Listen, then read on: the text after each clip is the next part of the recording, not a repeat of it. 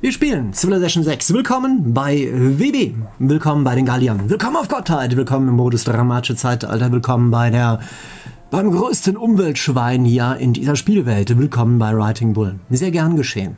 Kleiner Kontrapunkt zum Leben. Dort hört ihr von allen Leuten immer, Mensch, wir müssen auf die Umwelt aufpassen. Wir haben die Kinder nur, die, die, die, die Kinder nur von der Erde geerbt. Wir haben die Erde nur von den Kindern geerbt und solche ähnlichen Geschichten. Hier läuft das etwas anders. Was machen wir?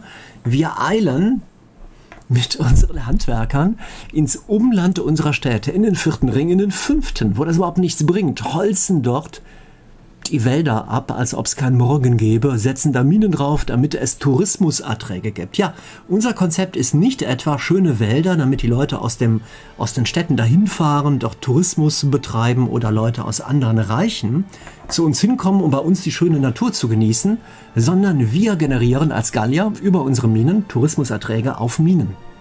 Die Leute kommen zu uns, Touristen aus aller Welt, um unsere gallischen Minen zu bestaunen. Ernsthaft. So machen wir das. Ich finde, da sollten viele, das sollte so, so im Real Life, so die ein oder andere städtische Tourismusbehörde sollte ihre Konzepte überdenken und sollte uns da kopieren. Kann ich mir gut vorstellen. Ne? Also falls ihr mal Kontakt habt mit Lokalpolitikern vor Ort, mit kommunalen Größen, sagt ihnen gerne liebe Grüße von WB. Er hat gesagt, wir bekommen mehr Touristen hier in unsere Stadt rein, wenn wir die Wälder abholzen und überall Bergwerke hinsetzen. Der Mann weiß, was er sagt. Verlasst euch auf ihn. Könnt ihr gerne weitersagen. Gern geschehen. Ich bin immer bereit, ein bisschen das Gute in die Welt zu tragen. Oder zumindest das, was ich dafür halte. So Leute, wir machen weiter. Ähm, Stadt ohne Energie, klar, weggeklickt. Weltweit den ersten Gebirgstunnel gebaut, Zeitalter, Punkte abgegriffen.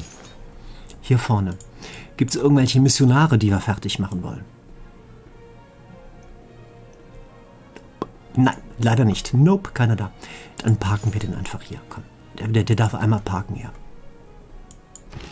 War nicht irgend hier, war eben noch ein anderer, aber den haben wir, glaube ich, ähm, fix und fertig gemacht. Der alt, glaube ich, da oben hin wollte der. Der hat, glaube ich, nur eine Ladung. Das wäre effektiver. Ach, da wollten wir eine Stadt gründen. Hier oben entsteht da auch irgendwo einer. Irgendwo ist noch eine Archäologe drin. In einer der... Ach komm, wir schicken ihn dahin wie geplant. Lauf da mal rüber, Junge. Oh Gott! Ein Feind! Eine Artillerie. Eine barbarische Artillerie direkt vor der Nase. Da brauchen wir demnächst ein bisschen Verstärkung. Wer kann uns da helfen? Wo sind unsere Truppen, wenn man sie mal braucht? Der Musketier hat sowas von keinen, doch halbwegs Schnitte. Er kann das regeln. Haben wir irgendwas Schnelles, was dahin eilen kann? Nein. Wir lassen den erstmal nahe kommen. Wir haben doch über die Oppidums. Die, die ballern den schon so weg, hoffe ich mal. Wird schon irgendwie gut gehen und wenn nicht, dann geht's halt schief. Das ist meine Lebens... Wir sind beim Thema Lebensweisheiten. Gern geschehen. Noch eine. Entweder geht's gut oder es geht schief. Wieder was gelernt. Danke. Gern geschehen. Bedankt euch nicht. Ähm, mit dem Speer wollten wir ins Wasser und Ah ja, spähen wollten wir mit ihm. Ins Wasser und einmal spähen, bitte. Er hat noch drei Aktionen.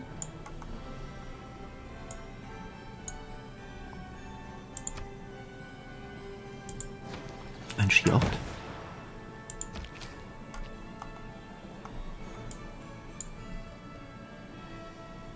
Wir könnten schon mal die beiden zusammenfassen. Zu einem Chor. Und eine Runde weitermachen. Haben wir alles gedacht? Hm, ja, wir hatten uns überlegt, dass wir mit den Glaubenspunkten eine Rockband kaufen. Das wäre eine Möglichkeit, aber das würde uns für den Tourismussieg natürlich was bringen, aber wenn wir den Tourismussieg anstreben, das wäre so ein Behelfssieg, den wir haben wollen, dann reicht es auch aus, wenn wir das am Schluss machen. Also wir müssen, ob wir, ob wir jetzt mit dem, mit dem rumrennen oder in zehn Runden, das wird uns, das ist eigentlich für den Tourismussieg egal. Die andere Frage ist die, wir wollen, wenn wir eine Rockband haben, hilft uns das bei der Forschung. Das bringt uns nämlich das Heureka für ähm, irgendwas. Irgendwo bringt uns das ein Heureka bilde ich mir ein. Irgendwas irgendwo. Da war irgendwo ein Rockband, Heureka. Bilde ich mir ein. Kannst du dich erinnern, Matsumanix? Ich kann mich tatsächlich nicht erinnern, aber es kann sehr gut sein. Es Wir kann, hatten darüber gesprochen. Es kann auch sein, dass ich das gerade erfinde, nach dem Motto, es klingt so schön, dass es wahr sein könnte. Hier besitzt eine Rockband. Dezentralisierte Herrschaft, direkte Demokratie. Mehr Kultur, mehr Annehmlichkeiten, haufenweise Joker-Karten, die haben wir auch so und mehr Diplomatiekarten. Falls wir, dann hätten wir hier eine Rockband. Ja, wir hatten noch, äh, letztes Mal diskutiert, welche der drei Regierungsformen für uns eine coole wäre. Was meinst du, Matzemanix? Welche Regierungsform könnte für uns die beste sein?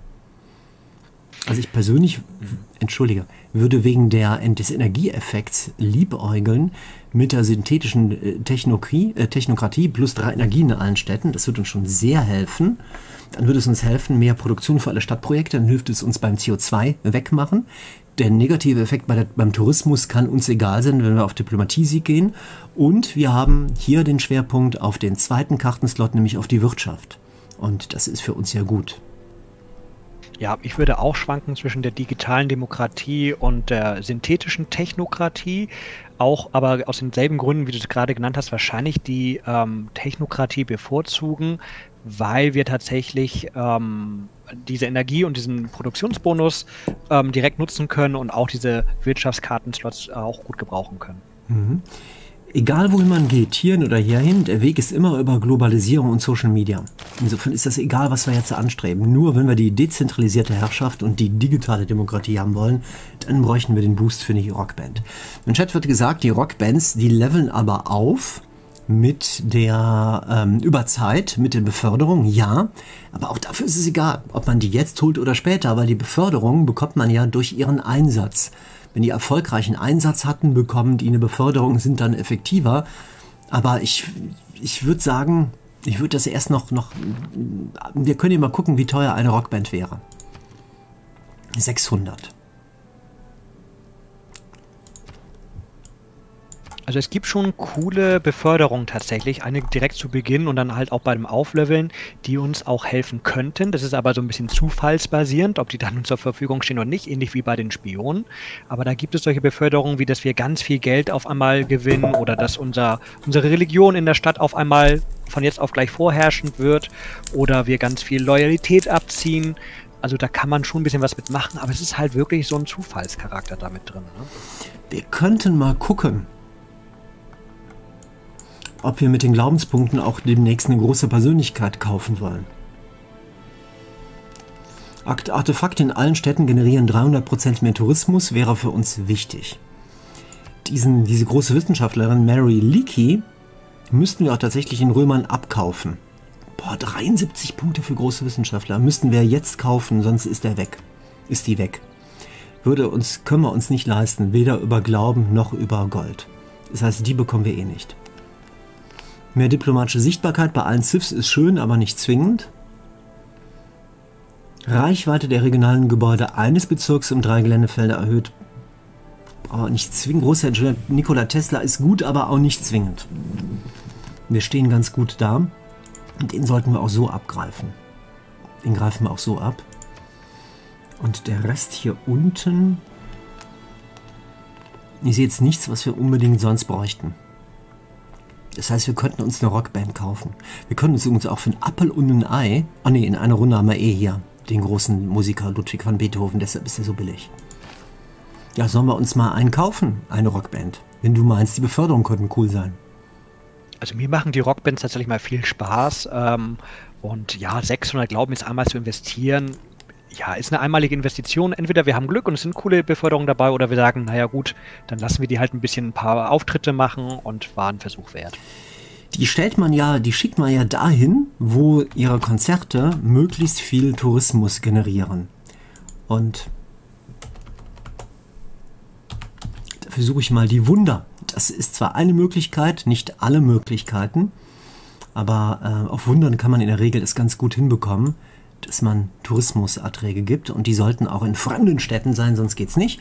Und hier in Ravenna könnte man zum Beispiel die Rockband hinschicken. Hier sind zwei Wunder nebeneinander, da oben ist ein drittes und die sind, glaube ich, auch alle schon gebaut. Ja, dann lass uns doch hier sechs Wunder sehe ich hier. Dann bauen wir die direkt hier in Kuhmäh kaufen wir ein und schicken den dann rüber, ja? Einverstanden.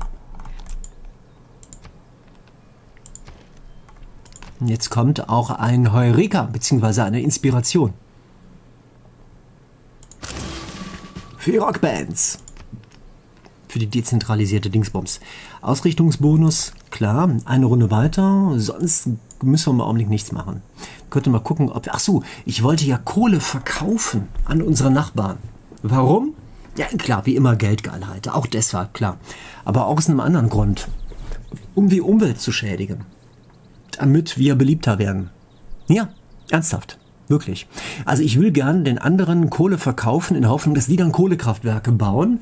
Das heißt, dann sind die die Umweltschweine, wir weiterhin, aber die halt etwas mehr. Und das sollte unseren Gunstmalus verringern. Das heißt, wir machen uns beliebter in der Welt dadurch, dass wir anderen Ländern Kohle verkaufen, damit die die Umwelt versauen. Dadurch steigt unser Ansehen. Klingt das abwegig oder total logisch und realitätsnah? Matsumanix. Antwort wie aus der Pistole geschossen? Erschreckend realitätsnah. also, wir benennen die gleiche um. Ihr könnt gerne schon Namen posten, aber die, die Umbenennung kann man erst machen in der nächsten Runde. Schaut mal hier. Umbenennung ist noch. Doch, kann man jetzt schon. Einmal umbenennen. Was wird gesagt? Die Kalbstarken, North Bowman. Du hast drauf. Erste Band heißt Trubadix, das geht nicht. Wie soll man denn eine ganze Rockband in einem Baum aufhängen und knebeln? Das geht nicht. Umweltsündigs, das kann man machen, Smarty. Trubadix. Flying Bulls geht immer. Nirvanix, das geht auch.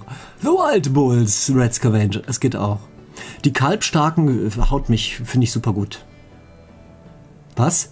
Apokalypse? Now 86 Trubadix? And the Celtic Bulls. Ganz kompliziert. Nymph Prime, ganz poetisch und poetisch. Die für Cleopatra singenden Tiger. Ja, das geht auch. Wir machen aber die, die Idee von North Bowman mit die Kalbstarken, das fand ich eigentlich sehr, sehr cool. Das war der North Bowman, glaube ich, ne? Ja, komm her. Die Kalbstarken. North Bowman. Kranker Hasen.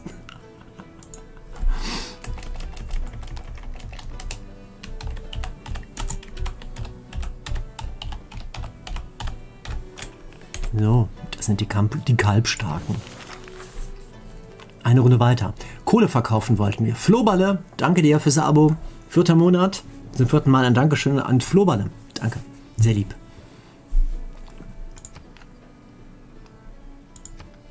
In wen verkaufen wir Kohle? Ja, an die, die Geld haben. Das können nur die beiden sein. Basilius. Der wird noch eine Weile im Spiel sein auch. Der wird nicht so sehr von der KI bedrängt. Das heißt, wir gucken mal. Geld hat er auch ganz gut, was er uns für Kohle gibt. Ein Gold. Das darf doch nicht wahr sein. Ich bin beleidigt. Ich bin tief beleidigt.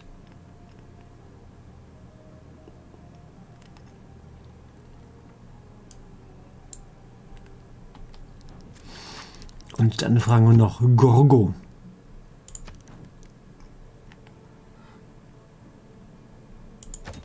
Die hatte aber nicht viel. Gibt auch nur eins. Was soll denn das? Ach, die hat das wahrscheinlich das Konzept äh, der Kohleverbrennung und der, der Umweltsauerei noch nicht genügend erforscht. Also eine Runde weiter. Das geht ja gar nicht.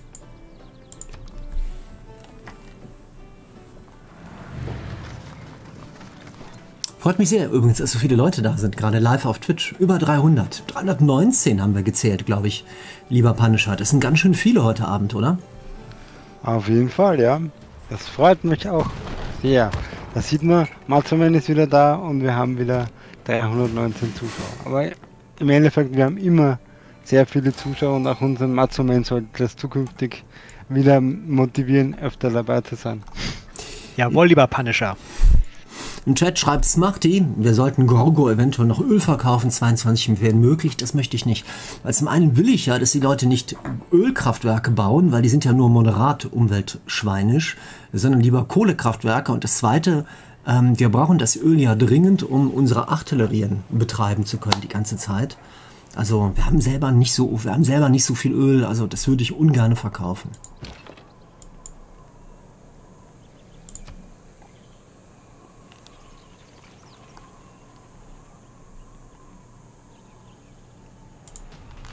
Nochmal. Ich verzichte. Habt ihr gerade gesehen auf die Beförderung? Die hole ich mir danach.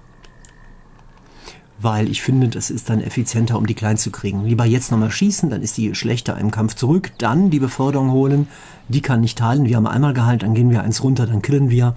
Dann bei einer Beförderungsrunde, also einmal XP sammeln, nicht bekommen. Obwohl, ähm, das ist aber egal, weil nach der ersten Beförderung bekommt man sowieso aufs Ballern von Barbaren nur noch einen XP-Punkt pro Angriff.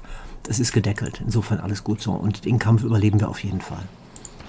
Nächste große Persönlichkeit. Wir rekrutieren. Ludwig van Beethoven. Dich rekrutieren wir. Hallo? Hast du uns gehört? Ludwig van Beethoven. Kann mal jemand den Ludwig van Beethoven anschubsen? Ich glaube, der ist schon im späten Alter angekommen. Der war ja leider ist ja leider im Alter ertaubt. Bitte alle einmal hier, einmal anschubsen. Ludwig van Beethoven anschubsen. Ja, jetzt, jetzt sieht er uns. Hier, WB. Komm, hier rüber. Guter Mann. Hier, Gallier. Wir Gallier lieben eure Kunst. Ja, werter Herr von, von, von Beethoven. Einmal rekrutieren. Sehr schön. Hat geklappt. So. Ähm, Produktion wählen hier. Wo denn? Wo war das? Ach, hier unten. Ein Glas ist nix. Aquacenter. Nächster Schritt.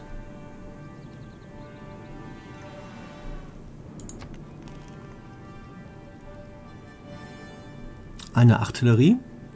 Das wäre dann allerdings schon die siebte. Glaube ich. Einmal, zweimal, dreimal. Viermal. Wir haben ein Plus von sechs. Das wäre dann die fünfte. Das wäre die sechste. Das wäre die siebte. Ähm.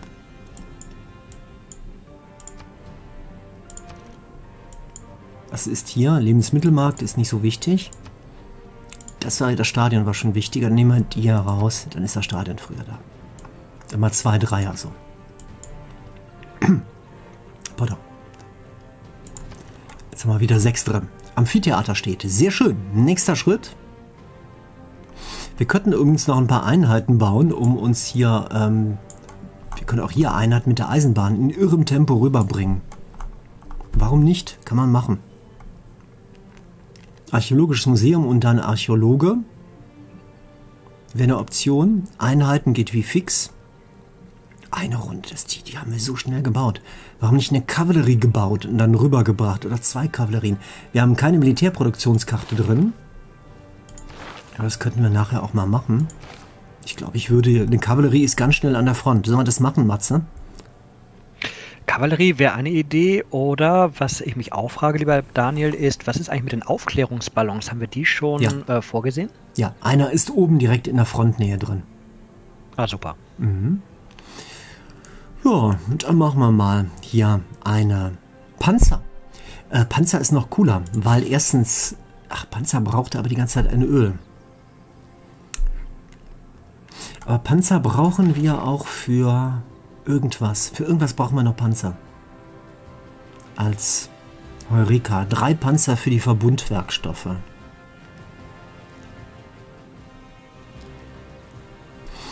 Wir könnten folgendes machen, wenn das sicher klappt, mit äh, hier mit dem Ölvorkommen. Wir gehen hier mal an Land.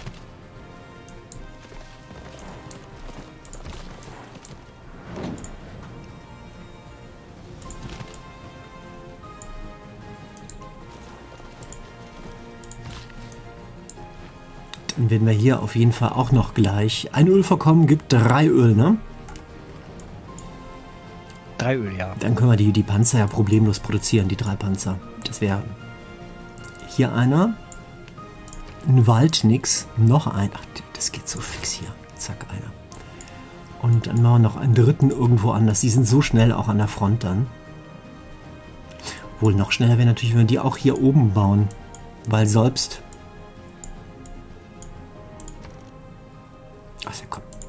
Drei Panzer von, von links und von rechts unten nach oben hin. Das kann man machen.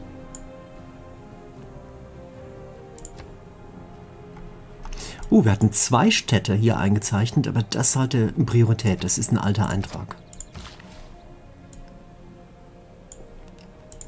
Handelsposten erstellt, sehr schön. mit dem Händler. Ich finde, den können wir gleich einsetzen in der neuen Stadt hier. Um die Stadt zu versorgen. Alternativ könnten wir auch Schmierfix nochmal versorgen, aber Schmierfix hatte nur ein Ziel, Globolix. Wir setzen immer eine Runde aus. Zieh mit dem runter.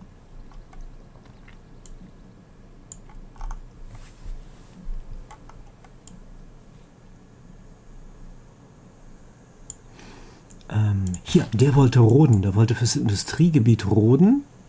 Und das Feld gehört zu Flutnix. Dann nehmen wir das Forschungszentrum raus. Roden einmal hier. Regenwaldfutsch. Flutnix hat einen Bürger mehr. Und stellen jetzt das Oppidum da oben ein. Das dann auch ruckzuck fertig ist. Machen das weg. Alles gut. So, und mit dem Kollegen könnten wir auch in Wundertüte, falls wir irgendwo... Ja, hier unten brauchen wir auf jeden Fall. Wie viel, äh, wie viel Aktion hat der drauf? Der hat fünf. Einmal, zweimal.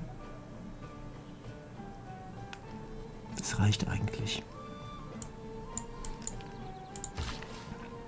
Was gehört, Flutnix hat, glaube ich, Unmengen bereits an Wohnraum. Mehr muss es gar nicht sein. Wundertüte.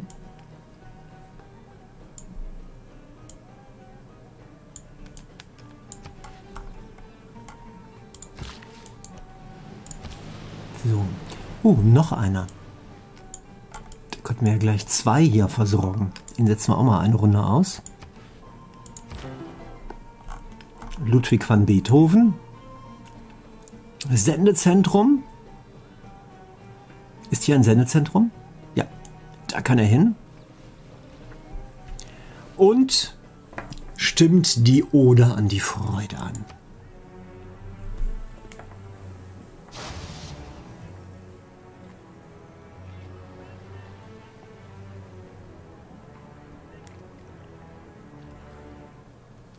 Sehr hübsch. Höre ich immer wieder gerne. Allerdings selten in dem langsamen Tempo.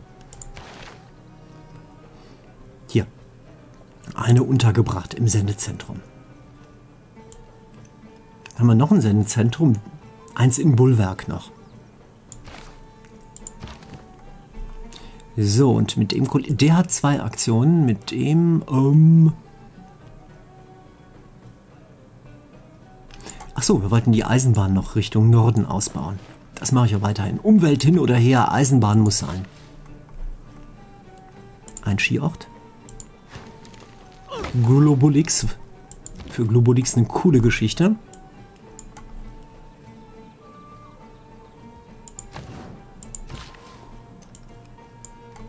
Zwei Aktionen mit ihm möglich.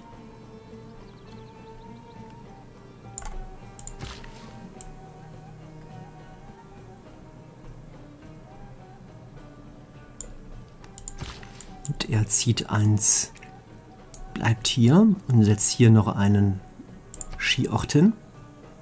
Vierter Ring gehört zu Waldnix. Eine Annehmlichkeit mehr für Waldnix. Dann können wir hier einmal feuern. Auf den Kollegen hier.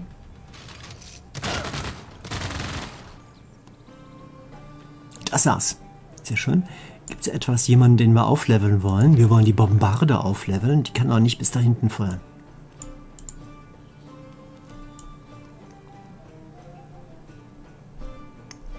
Wir könnten übrigens auch Lugdunum ähm, einnehmen und den Weströmern wieder schenken. Das geht dann wieder flöten.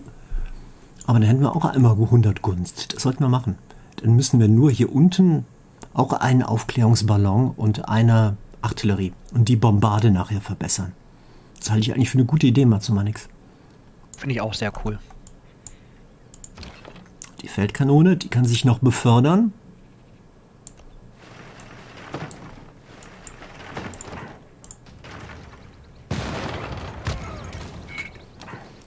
Könnten auch das Katapultkorps zur Artillerie verbessern.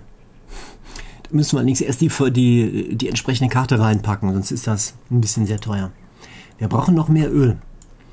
Wir haben zwei Öl angeschlossen, da unten wäre das dritte. Wir können eine Karte noch dazu nehmen, aber das ist mir etwas dünn. Oh Gott, hier kommen ganz viele Feinde.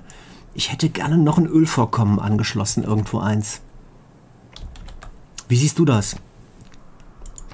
Ja, also was ich tatsächlich jetzt nicht gecheckt habe im Spielstand, wir bekämen ja auch Öl, wenn einer unserer Stadtstaaten, in dem wir Suzeren sind, auch zufälligerweise Öl zur Verfügung hätte.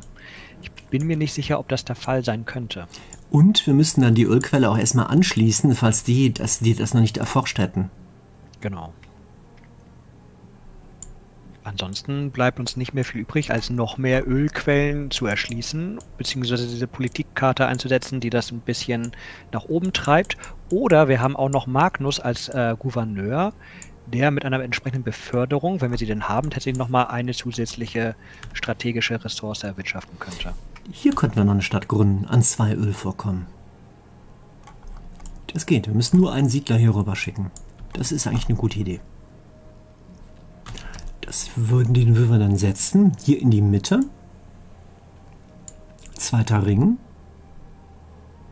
Bezirke bauen wir eh nicht mehr in der Spielphase. Das ist leider hier ein Barbaren. Ein Barbarennest. Ein Öl hier, ein Öl dort. Das hier, mit ganz viel Pech ist hier ein Schiff drin. Wahrscheinlich nicht. Das sollten wir eigentlich verteidigt bekommen. Hier ist noch ein geothermischer Riss. Das ist eine gute Idee. So, und mit dem Speer wollten wir hier noch die Mitte etwas erforschen. Ich weiß ja nie, was es hier noch gibt.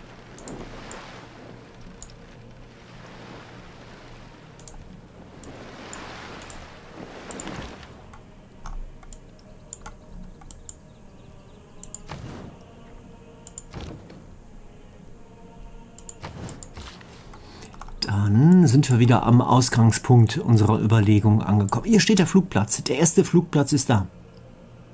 Den hatten wir doch den hatten wir schon im Bau gehabt. Dann brauchen wir nur noch einen weiteren. Wir können jetzt auch Flugzeuge herstellen. Bislang allerdings nur Doppeldecker. Das ist ein bisschen doof. Wir können auch das erste Gebäude draufsetzen. Einen Hangar. Dann können wir eine weitere Lufteinheit hier reinsetzen. Also statt zwei, drei bringt uns zwei Produktionen mehr. Wir machen aber erstmal Kohlekraftwerk, dann gucken wir weiter.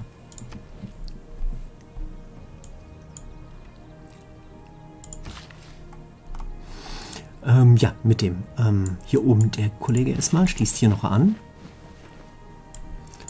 Und mit ihm, der hat ja zwei Aktionen, den können wir auch hier schon mal rüberbringen, dass der hier hilft gleich beim Stadtbau. Und hier, könnt, hier könnten wir einen Siedler danach einstellen. Nach dem Kohlekraftwerk. So machen wir das. Der bewegt sich dann rüber, dann verlieren wir zwar einen Bevölkerungspunkt, ist aber gar nicht schlimm. Wir haben hier so ein dickes Plus von 37,6 bei der Nahrung. Na, er ist im Handumdrehen wieder da. Dann läuft der Bürger hier rüber, schmierfix, dann hier rüber, gründet die Stadt und mischt in der Zwischenzeit hoffentlich noch, hoffentlich noch das Barbarenlager auf. Das bedeutet aber, dass wir auch ein paar Einheiten hier noch haben sollten. Aber die können wir ja auch noch herstellen.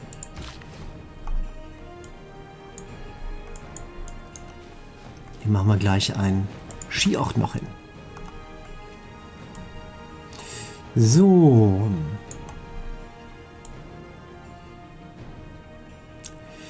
Wir könnten den runterschicken oder auf Tourismusverdacht noch haufenweise hier Minen ins Nirvana schicken.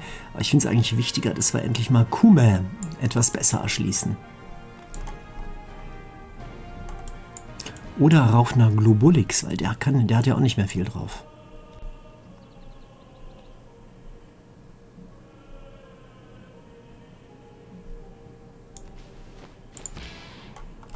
Das ist unsere Rockband, die Kalbstarken. Jetzt bin ich sehr gespannt, welche Beförderung im Pott ist. Die drei, eine von den dreien können wir nehmen. Entweder Zivilisationen im Umkreis von zehn Geländefeldern erhalten 50% des Tourismus von diesem Konzert. Andere Zivilisationen? Nee. Wir? Hä? Was? Was bedeutet das denn? Also dieser Tourismusbonus, den wir dort erwirtschaften, der gilt ja erstmal gegen diese Zivilisation dort, wo wir das Ganze einsetzen als ähm, Rockband. Und 50 Prozent von dem Ertrag gilt tatsächlich dann auch für andere Nationen, die da drumherum sind in dem Radius von 10 Geländefeldern. Was haben wir denn davon, anderen zu helfen? Also das ist Tourismus für uns. Also unser Tourismus wird dann dort vorherrschend quasi. Ach, jetzt habe ich verstanden. Das heißt, wenn wir irgendwo in ein Dreiländereck beispielsweise sowas genau. platzieren, ne? Ja, ja, das hilft uns im Augenblick leider nicht weiter. Was uns auf jeden Fall hilft, ich habe so einen Verdacht, was, worauf du schon guckst, das ist der religiöse Rock Gospel. Ja, genau, das finde ich tatsächlich gar nicht so verkehrt, weil wir ja eine Religion gegründet haben und wir haben den interkulturellen Dialog als ähm, eine unserer Glaubensrichtungen gewählt, wo wir mehr Wissenschaft bekommen. Und wenn wir da jetzt zu großen Städten gehen, innerhalb von einem Klick, die dann vorherrschend machen, dass dort Bullismus äh, gilt, dann haben wir direkt die Boni davon für uns. So, deshalb rennen wir einmal rüber. Äh, kann die Einheit eigentlich zerstört werden? Die kann meines Wissens auch zerstört werden, ja aber ich habe es noch nie gesehen. Ich habe meine Rockbands immer sehr gut äh, bewacht. Deshalb ist das so ein Grate, wo ich sage, 90% wahrscheinlich habe ich richtig geraten. Hier können wir rüberziehen. Befördern kann man die nur im eigenen Territorium, glaube ich, ne? Nee, die kannst du auch im fremden Territorium befördern. Dann ziehen wir erstmal ein Stückchen vor, weil nach der Beförderung können wir nicht mehr ziehen.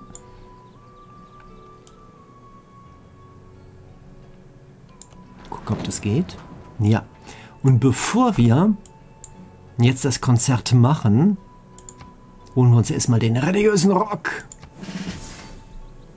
Nächste Runde ist hier das erste Konzert. Da freue ich mich irgendwie total drauf. Ich finde es, was ich so entzückend finde bei Civ 6 ist, es gibt so ganz viele so Minispiele im Spiel. So kleine neckische Spielelemente. Auch das Puzzeln und Sammeln ähm, beispielsweise auch von diesen großen Werken tauschen. Beim letzten Mal hatten wir das gemacht, große Werke eintauschen bei der KI, Sets zusammenstellen. Das ist so wie, so wie Kartenspielen.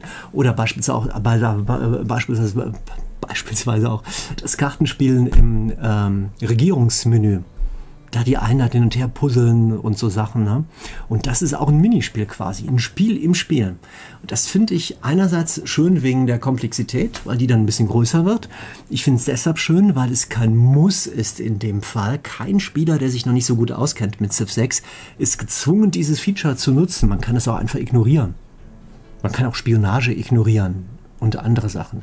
Das heißt, das ist so aufgesetzt. Das sind so optionale Geschichten, die dann relevant werden, je mehr man das Spiel kennt und je mehr man auf höheren Schwierigkeitsgraden spielen will. Und ähm, ja, man kann ja auch erstmal weglassen, ohne dass das Spielerlebnis kaputt geht. Und das finde ich auf eine nette Weise tricky. Dass die Entwickler also einen Dreh gefunden haben, wie man ähm, ja, so, so ein Spiel quasi wie, wie so ein Baum in einzelnen Rinden, Stückchen oder in Ringen allmählich immer komplexer macht. Und wenn man selber älter wird und spielerfahrener, dann wächst der Baum und dann holt man sich aus den Außenbereichen und den neuen Ringen immer neue Spielfeatures in ein eigenes Spielerleben rein. Und das finde ich schön umgesetzt. Also das finde ich clever umgesetzt. Das ist, äh, haben die gut hinbekommen, finde ich. Meiner Meinung nach.